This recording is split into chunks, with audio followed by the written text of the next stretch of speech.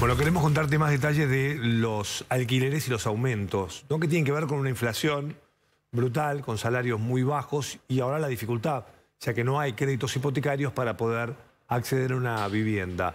110% es el valor de los aumentos, mirá lo que se va a pagar este año para quienes tengan que renovar los alquileres en el mes de agosto. 110%. Mirá, un tres ambientes, vas a pagar 100 mil pesos pagabas en el agosto 2022. Esto directamente en agosto de este año vas a pagar 210 mil pesos, más del doble de un año a otro. Decime qué salario, qué salario puede alcanzar estos números, qué salario puede seguir este ritmo de la inflación de 110%. Muy difícil encontrar en Argentina sectores a los cuales les hayan duplicado los sueldos de esta manera. Una enorme dificultad nuestra compañera Elena estuvo recorriendo los barrios para darnos esta información. El mercado del alquiler está complicado en Buenos Aires, así que he salido a comprobar. La verdad que tenemos muy pocos departamentos, ¿sí? Eh, realmente, y los que entran en alquiler duran dos días en el sistema y se alquilan. En lo que son departamentos tengo dos y para PH tengo lista de espera. Imagínate. O sea, realmente con la ley de alquileres que se sancionó en el 2020 no hizo más que perjudicar al mercado y los propietarios prefieren no alquilar su propiedad. Aparte es una de las rentas más bajas de la historia. Provoca todo tanta incertidumbre que prefieren no poner sus propiedades en alquiler, sacarlas del mercado. Para lo único que suena el teléfono es para alquilar. Pero bueno, estamos a la expectativa de que se junte un poquitito los diputados y hagan que esta ley se derogue y comencemos a trabajar como se debe. Eso están esperando los, eh, propietarios y los inquilinos. Porque al no haber oferta, suben los alquileres.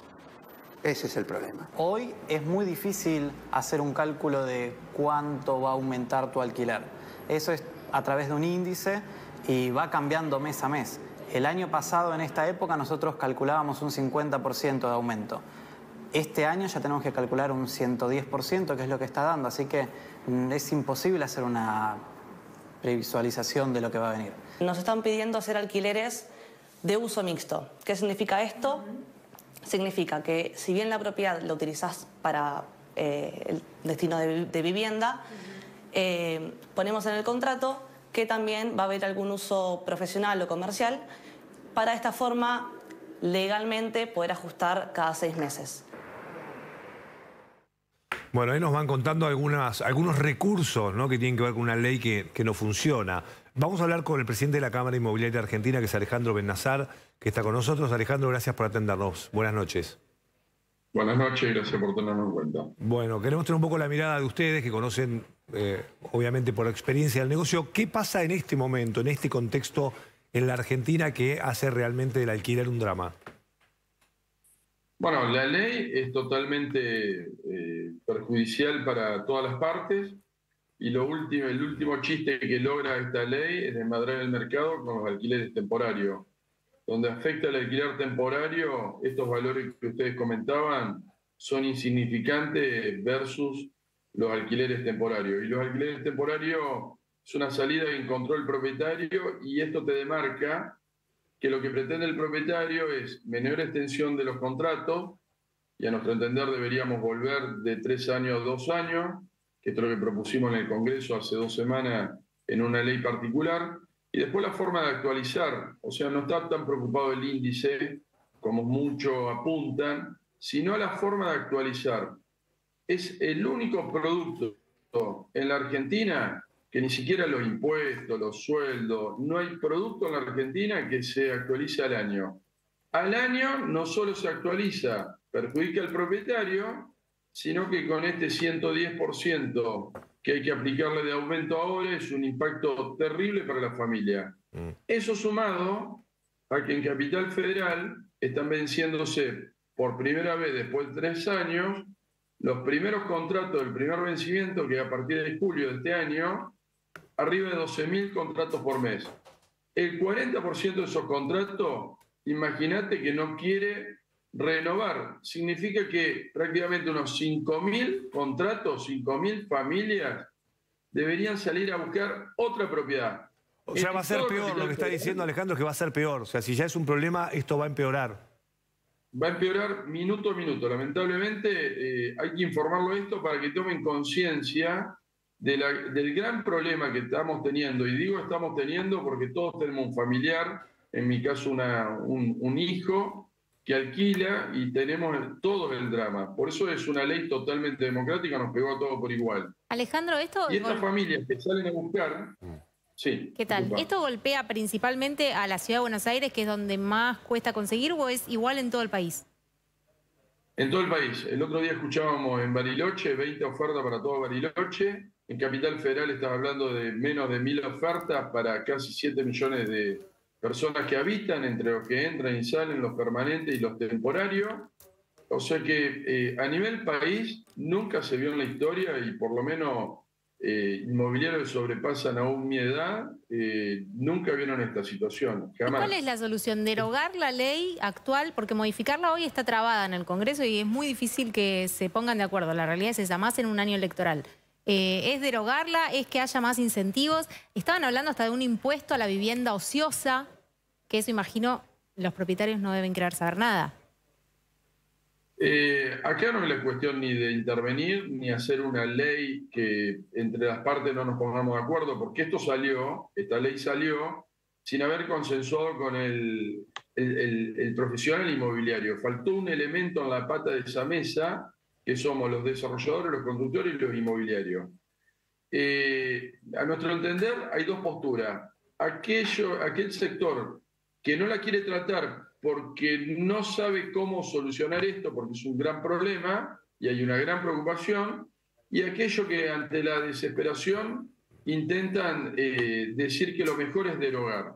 Nosotros que entendemos del mercado, para hacer una, algo como corresponde, deberíamos hacer una mesa nacional de alquiler y que esto es lo que venimos solicitando. Pero las cinco instituciones más representativas del sector o una de las cinco instituciones más representativas del sector, hicimos algo inédito que nunca lo vimos en el mercado inmobiliario a través de las instituciones, presentar hace una semana para poder aliviar y para poder darle una herramienta que digan, bueno, ok, no la reformamos ni de un lado ni del otro, esto lo proponen las instituciones. Hicimos una iniciativa, una presentación de iniciativa particular ante Cámara de Diputados, del cual proponemos dos puntos. Primer punto, volver de los contratos de tres años que actualmente están a dos.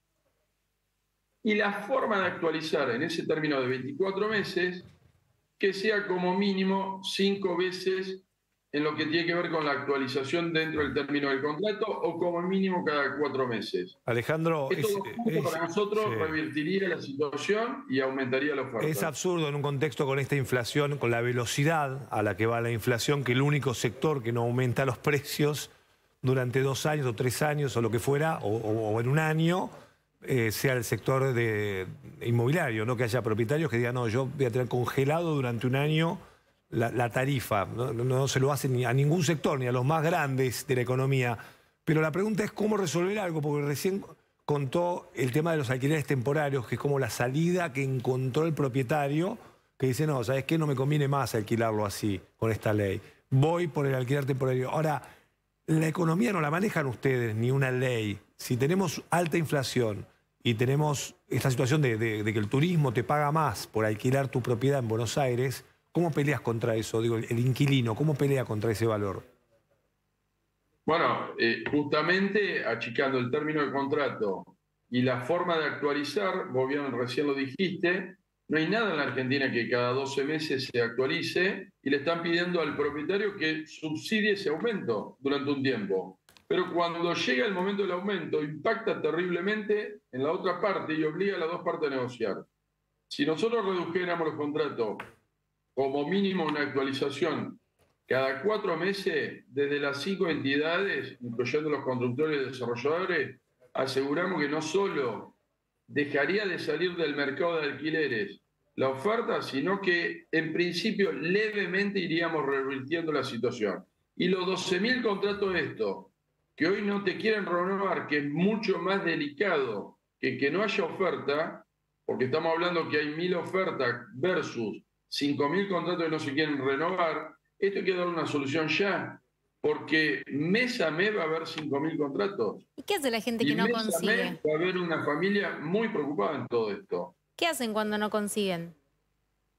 Bueno, ahí está el tema. Obliga a las partes a negociar, a evitar el, el- la posible, el posible conflicto y obliga al intermediario, el inmobiliario, a, concentrarse en una negociación permanente para que las partes lleguen a un acuerdo. Ahora vos fíjate que hacemos una extensión por seis meses o ocho meses, ¿qué otro logro de esta ley? A ponerle como beneficio de lo que nos está dejando la ley. Cuando vos eh, haces una actualización por seis meses o ocho meses, el departamento no se pinta, no se arregla, nadie se da y se precariza. Y hay un montón de rubros que dejan de actuar porque no tienen seguridad ninguna de las partes que después de que se termine esa eh, extensión de contrato, eh, se genera un nuevo contrato. O sea que es una incógnita a futuro. Entonces, acá empieza a haber hasta una parálisis de sectores. Sí. Eh, Alejandro, ¿por qué crees que desde eh, Inquilinos Agrupados, que es una de las asociaciones que impulsó fuertemente y siguen defendiendo esta ley, eh, siguen insistiendo en que el problema es que la ley no se cumple, que hay que hacer cumplir la ley? A ver, tienen su pensamiento y, y cada uno defiende una postura, pero acá hay que hacer un análisis y una mesa que hasta ahora no fueron convocados. Hay muchos sectores de inquilinos que estamos teniendo reuniones a nivel país que opinan que esto hay que reformarlo y en estos dos puntos fueron consensuados. Perfecto. Bueno, eh, gracias por estos minutos. Me quedo con el dato de Alejandro Benazar que nos está diciendo la situación es grave y esto va a empeorar si no se toman medidas rápidamente. La situación va a ser peor para los inquilinos porque va a haber menos oferta eh, de alquileres. Ese es el dato. Alejandro, gracias por atendernos. Buenas noches. Gracias a ustedes. Bueno, espero que escuchen, ¿no? A los que trabajan, digo, tantos años conocen cómo funciona el mercado, que eso es lo más importante. Los legisladores debieran haber escuchado muchas voces antes de tomar decisiones que empujaron a tener una ley que afectó aún más la situación económica, ¿no? Que es el principal problema que tiene hoy la Argentina.